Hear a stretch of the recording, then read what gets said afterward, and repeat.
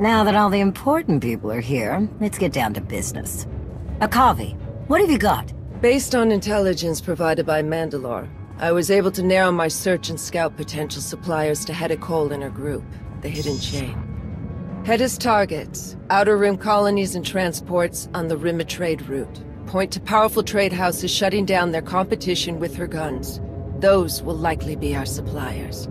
I have advised Jakaya Ordo, and he is marshalling Mandalore's fleet as a precaution. You'll find everything I uncovered in my report. Okay, we'll get our analysts on that. Good work.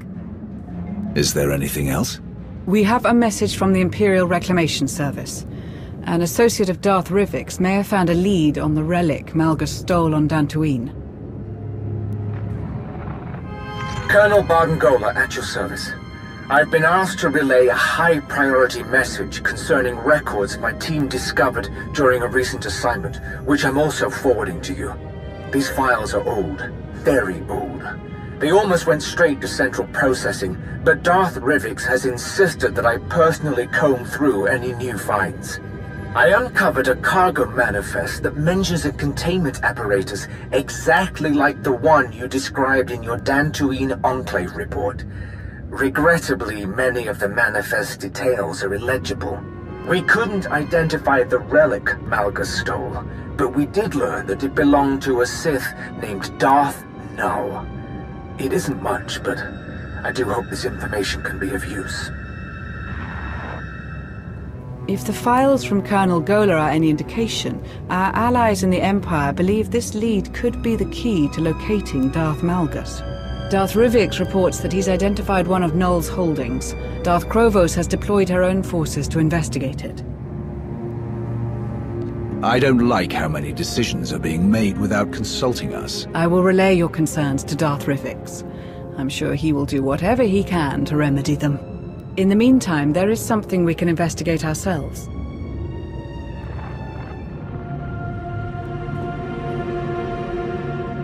What am I seeing? This is where Darth Nul's relic was first discovered. There are not many who know this planet.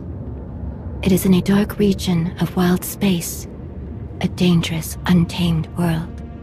If your intention is to investigate the source of this relic, you must send someone strong to this place. Someone who knows this region of the galaxy. I suggest Arcann. I won't speak for my colleagues in the Empire, but I can't imagine they will be thrilled at the idea of the former Eternal Emperor handling this. A valid concern, but ultimately the decision is yours, Commander. Sana-Rae is right. Arcann is the best choice for this mission. We'll deal with any consequences later. Arcann should be adequately prepared.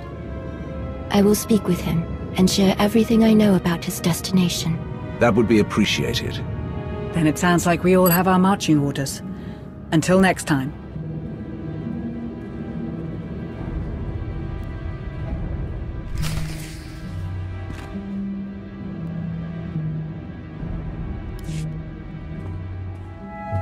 You must be Akaavi Spar. That's correct. I understand you recommended me for this mission. I appreciate the chance to help with Mandalore's hunt. We needed someone on the ground familiar with Mandalorian ways. You were right to send me. Those who supply Heta Kol are paranoid and prone to disappear. It is only because I am Mandalorian that I got as close as I did. The suppliers are very much afraid of Heta's wrath should they disappoint her, or worse, reveal any of her secrets. She's being very careful. Her ruthless reputation and a seemingly endless supply of credits from her raids means she can keep her secrets.